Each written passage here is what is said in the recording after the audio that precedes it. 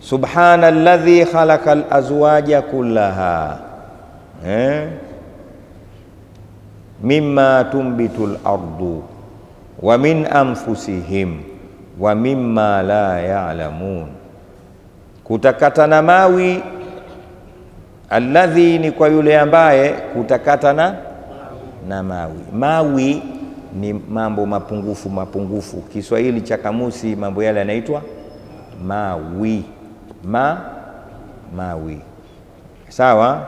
Kutakata na mawi ni kwa ambaye khalaqa alazwaja, ameumba dume na jike, kullaha, katika kila kitu, mimma tumbitu lardhu, katika vile ivyoteshavyo ardhi, wa min anfusihim, na katika nafsi zenu nyie kuna jike na dume, wa mimma la ya'lamun, na katika vile ambavyo hamvijui, hawavijui watu.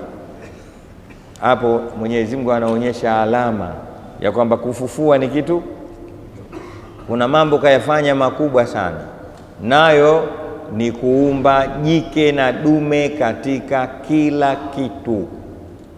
Mpaka kofia yako ukiichunguza, utaona ina dume na jike katika kofia yako, katika kishali ulichokivaa, mpaka boksa yako ina jike na dume. Umeelewa vizuri? na wasomi hili jambo wanalikubali eh? hasi na na chanya au chanya na hasi, kila kitu kuna azauji. Sawa. Subhana alladhi khalaqa alazwaja, kutakatana mawi ni kwa yule ambaye kwa yule ambaye ameumba jike na dume, kullaha, katika vitu vyote. Mimma tumbitul ard, katika vile ioshetavyo ardhi, katika vile vitu vinavyooteshwa na ardhi. Miti kuna jike na dume, mimea kuna jike na dume, ili mradi kila unachokiona ardhini kuna jike na dume, yani kuna mbea mbili, vinyume viwili, adad. Hapa kuna ufundi mkubwa, hakuna aliyofanya hayo. Hata mmoja katika binadamu isipokuwa anajikuta tu kakumbana na jike na dume katika maisha anayoishi.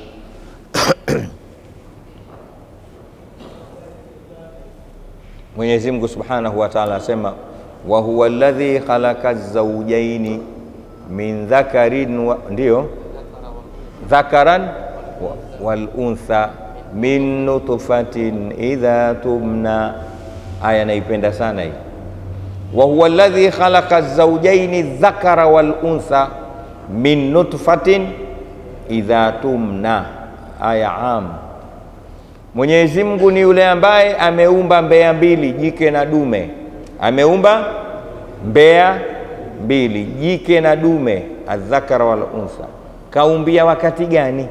Min nutfatin idha tumna, kuanzia pale tone eh, la manii au mbegu ya uzazi inapotonwa, inapo min nutfatin idha tumna. Yani Mungu anaweka wazi hapa jalla jalalu, ile jike na dume inaanzia pale manii inavyoruka ile manii pale ndio inapokwenda na jike na dume. Subhanallah, leo sayansi ndio imegundua juzi juzi wakaziita zile XXY x na wakakupangia mpango, ukitaka watoto wa kike eh, fanya hivi, ukitaka watoto wa kiume watupu fanya waongo. Wamechukua hapa min nutfatin idha tumna. Msalini Mtume Muhammad, msalini tena Mtume Muhammad. Basi wanachuoni wamefika mbali zaidi kwamba hapa min nutfatin idha tumna sio jike na dume tu, mpaka kufanana. Wewe unafanana na nani? min nutfatin idha tumna. Kuna utokaji ikitoka ile utafanana na babako, na kuna utokaji ikitoka unafanana na mamako. Sio hivyo tu, wamesema mpaka tabia. min nutfatin, hapa hapa min nutfatin idha tumna fa inna lirka, utamwona mtu kafanana na baba yake sura na tabia min nutfatin idha tumna. Ndio utaona vizazi hivi vinajulikana. Kuna vizazi vya mafundi majiko tu, wao kwa majiko hao hawana mpinzani, litashindikana kote huko kuzibwa. Likija pale anaziba huko, ana, ana chati na utaona kuna familia wao ni wafanyabiashara tu. Kuna watu wanazaliwa nusu mtaji, ile kuzaliwa tayari ana nusu nzima ya mtaji, na kuna baadhi ya watu wamefanikiwa kwa kutumia, kuna baadhi ya jamii. Eh. Utaona mtu anamwambia mwanawe kabisa, yeye ni sonara. Na usiende kuoa isipokuwa katika ukoo wa kisonara min nutfatin, kuna sahali ya maisha pale. Sisi tena ndo tunajichanganyia changanyia tu eh? Ukimkuta mtu huko mguu wake umeupenda, kuna wengine wanapenda mwendo, kuna watu yani yeye raha yake mwendo fulani hivi aina utasema ndio anaufanyaje sijui ule mwendo. Mungu fundi sana. Kuna hao wanaopenda macho makubwa eh? Kuna wengine wanapenda namba, sijui namba kumi. Namba kumi inakuwa ile eh? inaitwaje? E, namba nane. Sasa namba nane sitakuwa kama vibuyu. Basi min nutfatin idha tumna. Kuna kisa nikipokea kwa mmoja kati ya mashake zangu, lakini sijakiona kwenye kitabu. Tulikuwa tunatoka safarini Morogoro, tunarudi Dar es Salaam. Nilipata bakti siku hiyo kusafiri na mashehe wengi, mimi peke yangu ndo nilikopo jahili, lakini nilikuwa na mashehe wengi wakubwa wakubwa, wakawa wakiwa wanahadithiana. Miongoni mwa vitu nilivyovipata hapo kuhusiana na hii min nutfatin idha tumna, kuna kisa. Narudia tena, kisa hiki nimekipokea kutoka kwa mmoja wa mashekhe zangu eh? na mimi mimi kwa maneno ya mashekhe unitowi Alhamdulillah, sawa. Niliwahi kusema maneno haya pahala, watu wakasema ah, kakufuru huyu huyu kakufuru. Ah, ah. Tumeelewana? Mimi shekhe akisema ndio nachukua, ndo darasa kwangu. Kule kwetu sisi tunaitwa shekanena, she shekanena, maanake kitu ah, mpaka shehe aseme ndo sisi shekanena, na ni kweli ni hivyo hivyo, na nimefanikiwa kweli kwa kuishi ki shekanena. Msalim Mtume Muhammad. Wenyewe tu wanaona wanatutania hao nne hao, kumbe ndo tunafanikiwa. Nimekwambieni hapa juzi, Dr. Khalid Muhammad Taufik anasema yajibu an yakuna hunaka shakhsan ala alaqali tamshi ilaihi hinama la taarifu aina tadhhabu lazima uwe na mtu wa kumwelekea japo kwa uchache, siku ile ambayo kwamba wewe unaamka hujui unaelekea wapi, basi usiwe hivyo, ujue kwamba sijui leo pakwenda, lakini nende kwa Walidi, najisemea mimi mwenyewe eh? Sawa, ipo hiyo. Basi japo uende yule mtu akutukane ta, ni dawa sawa eh, isiwe wewe kila siku hujui unakwenda wapi au huna marejeo. Kuwa na marejeo yako. Basi shekhe wangu mmoja alikuwa akihadithia kwamba, chukueni hichi kisa kwa ufupi. Kuna watoto walipelekwa kwa shekhe wao kusoma, baadaye wakahitimu, ikabidi waru, waruhusiwe warudi majumbani, lakini shekhe akawaambia kila mmoja akirudi kwao, kabla ya kuanza kufanya kazi ya hiki alichokisomea huku, kwa maana ya kusomesha eh? Kwanza akafanyaje? Akafanye kazi aliyofanya baba yake kwa muda mfupi, kisha ndio aanze kusomesha. Huu ni wasia na maelekezo ya yule shekhe kwa wale vijana. Kawaambiaje? Mkifika majumbani kwenu katika miji yenu, kabla mjaanza kusomesha hiki nilichowafundisha na kufanya dawa, anzeni kufanya kazi walizofanya wazee wenu. Wakarudi, alhamdulillah wengi waliwakuta wazee wao wako hai waka, na wakazijua kazi za wazee wao wakafanya. Mwingine alimkuta mzee wake mvuvi akavua kidogo akaanza kusomesha. Mwingine alimkuta fundi muwashi. Unajua fundi muashi ndo nani huyo? Alhamdulillah, yahdikumullah wa balakum. Sawa eh? Wengine wakawa wajenzi, wengine wakawa wakulima, madereva wakawa madereva alhamdulillah, yahdikumullah wa yuslih balakum. Sasa mmoja amefika kule, babake alikuwa kishikufa,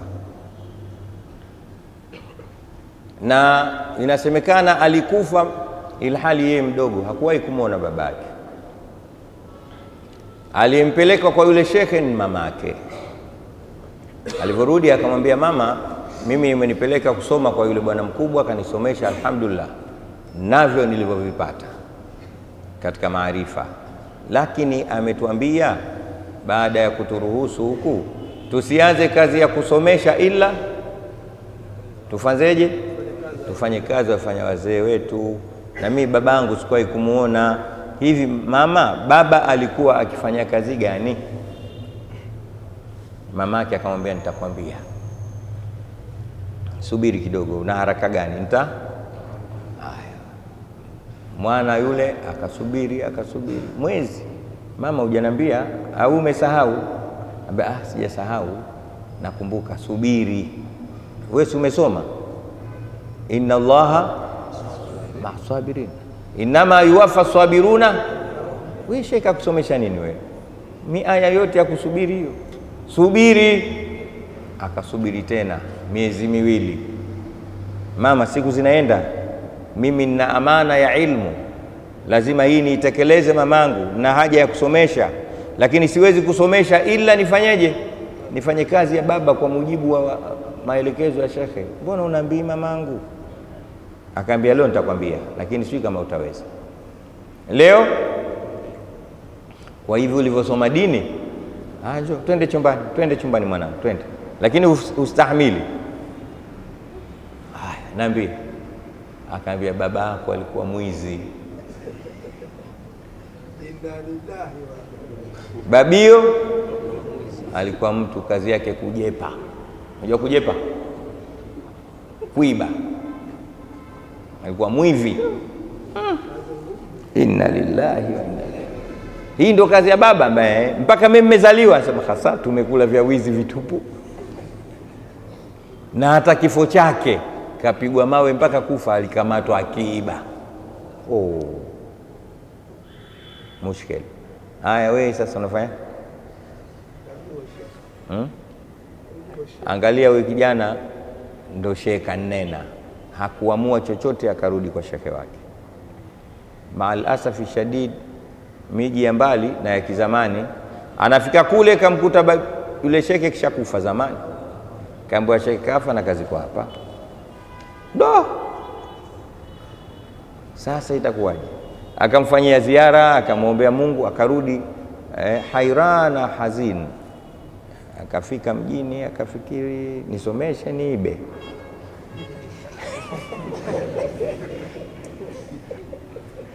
niibe mimi e, wezi wa viatu mnasikia eh?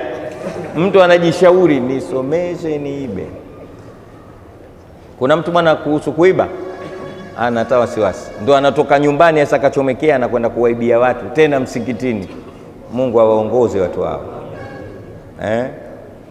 wa, wezi wa viatu msikitini, Mungu awaongoze wakiingia msikitini wasiibe viatu, sawa sawa, wajifikie kuswali na kuongoka.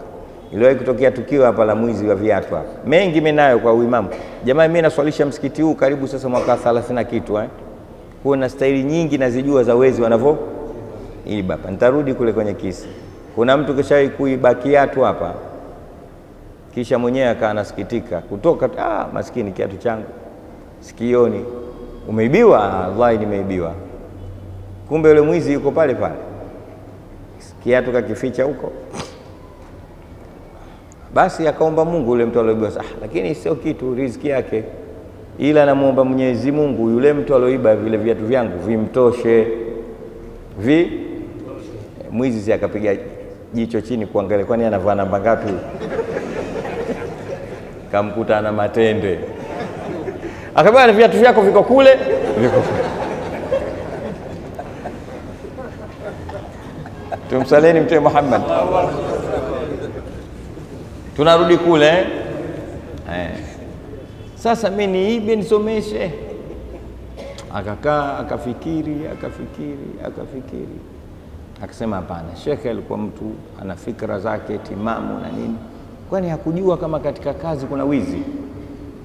Na akasoma ubeti upo katika Jauharatu Tauhid, arrizqu inda alqaumi ma bihi tufi wa qila la bal ma mulik wa matubi fayarzuqu llahu alhalala fa'lama wa lmakruha walmuharama. Msalini Mtume Muhammad. Kuna kitabu kinaitwa Jauharatu Tauhid, ma bihi tufi, rizki kwa watu wa tauhidi na wanachuoni waliulizana, ma huwa rizqu sema arrizqu inda alqaumi ma bihi tufi, ni kile kitu ambacho kimemnufaisha mtu ndo riziki yake. Kila kilichokunufaisha ndio nini?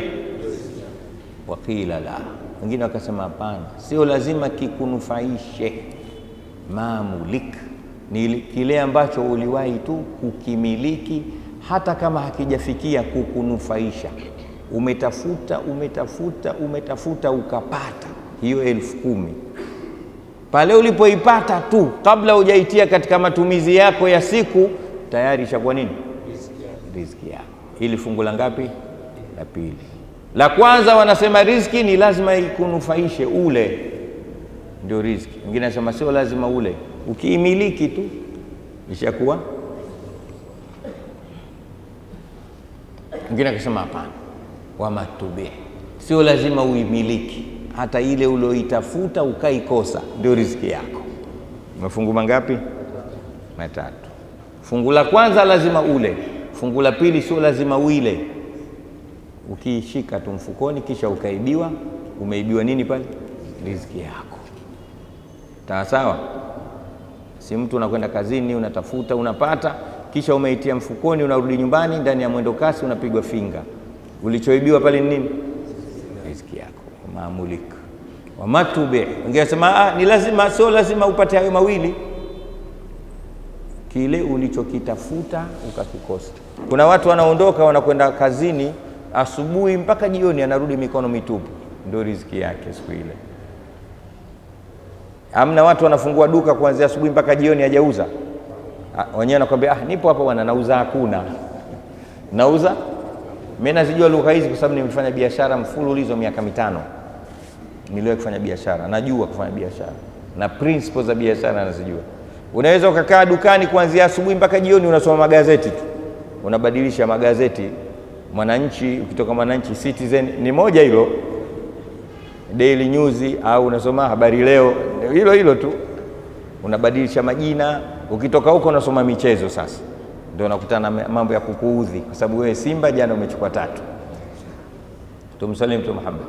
Lakini unafika jioni unafunga duka, unarudi nyumbani, ndio nini? Hakuna ulichokiuza. Akasema katika hili fayarzuku llahu lhalala faalama, basi jua Mwenyezi Mungu kwa mtindo huu huwa akamruzuku mtu halali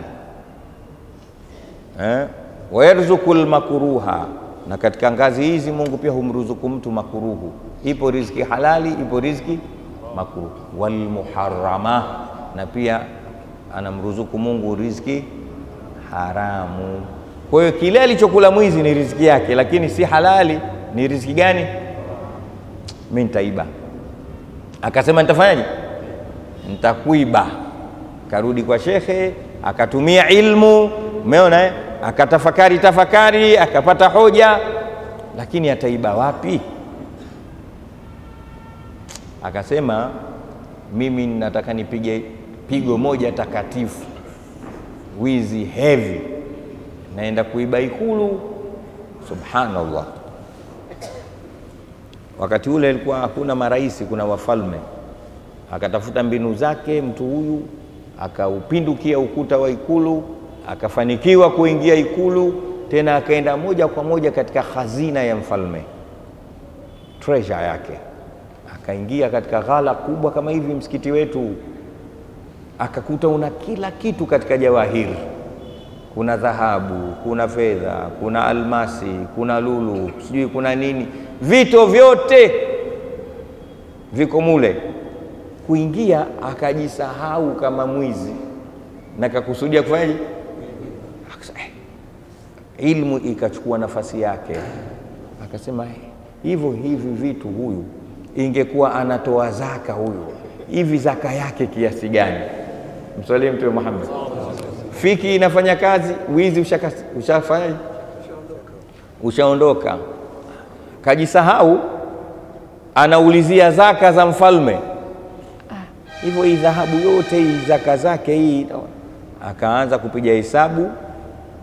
Zaka ya dhahabu, zaka ya fedha, zaka ya almasi, zaka ya lulu, zaka ya ngozi, anafanya zaka tu zaka zaka. Kaingia usiku wa manane, ghafla Hamad kakumbuka alfajiri imevaje, imefika, kasahau kama kaingia katika ghala la mfalme tena kaingia kwa ajili ya kufanyaje, ya kujepa, kaadhini mle mle, Allahu akbar, Allah tangu imeumbwa ikulu ile mle ndani hapajawahi kufanya kuadhiniwa. Watu wanastuka, nasikia adhana, tena inatoka treasure. Askari wanataka kwenda, wanastuka, na mfalme kaamka, adhana humu ndani leo, wanamkamata mfalme. Ah, msimkamate, mwacheni, msimpige msimpige, anaadhini kwanza. Kaingiaje? Nyie wote mna makosa. She askari wote kumbe wana mpango wa kulala, imegundulika siku ile, wakawekwa lokapu wale waliokuwa zamu ya kuiba, ya kulinda. Kisha akawambia mleteni huyu huku, anatetemeka mtoto wa watu, hajawahi kuiba. Umeelewa? Haya baba, ilikuwaje? Akahadithia kisa chake chote mwanzo mpaka pale mi sio mwizi, lakini wizi umenipata kwa sababu kadha kadha kadha kadha. Eh, haya, ulifanikiwa kuingia? Eh, si umeniona nimeingia. Kwa nini usiitoke na mali? Akasema nilivyoingia mle ndani nikajisahau kama mimi mwizi, nikaanza kupiga hesabu ya zaka za mali zako. Sasa ndio hicho kimefanya usiibe? Wallahi, wallahi mfalme akaambia, basi usio na wasiwasi, kuanzia leo wewe ndio utakuwa waziri wangu wa mambo ya zaka. Takbir! E jamaa, msiibe mkaona kisa kitamu hichi, mkaenda kuiba huko, mkajua mtaenda kuingia kupewa kazi. Hichi kisa nimekipokea tu, tukizungumzia wa huwa alladhi khalaqa zaujaini adhakara wal untha min nutfatin, tunatokea hapo kwamba Mwenyezi Mungu ameumba mbea mbili, jike na dume, kuanzia manii pale inapotonwa, na nikasema vitu vingi vinakuja pale, ndio unaweza kuona ukoo wezi watupu au wacheza mpira au kama ukoo wetu sisi wote mashehe, babu shekhe, baba shekhe, mjukuu eh, min nutfatin fa inna irka jasas. Mtume anasema mshipa unapiga mbali sana. Kuna baadhi ya vitu ukiingia tu ah, kwako ni rahisi, wala sio tabu. Mwenyezi Mungu atujalie katika kwenye kufahamu maneno.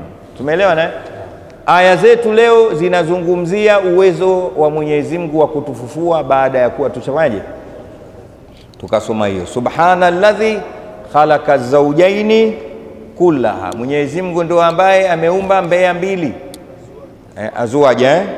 Khalaqa azwaja. Mungu awabariki.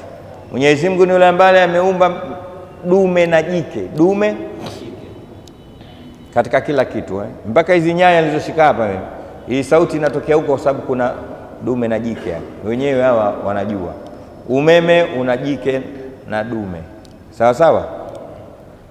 Mmenielewa vizuri eh? Watu kuna eh, dume na jike, kila kitu. Wa min anfusihim, katika vile vinavyooteshwa na ardhi, wa min na katika nafsi zenu zao make ndo sisi, wa mimma la yaalamun, na katika yale wasioyajua. Maana yake kuna mambo mengi sisi hatuyajui, binadamu hawaya, lakini Mungu anayajua, na hayo pia yana azwaji, na hayo pia yana nini? Azwaji, sawa sawa. Sasa maana yake nini? Unatakiwa uisome aya hiyo uitizame kwa kina na utulie nayo, wala usifanye haraka, uifatilie hapa tumeieleza kidogo tu, lakini uifatilie kiusomi, kifikira, utizame. Mtu alioweza kuumba kila kitu azuaji atashindwa kutufufua? Ndio maana yake. Sawa sawa.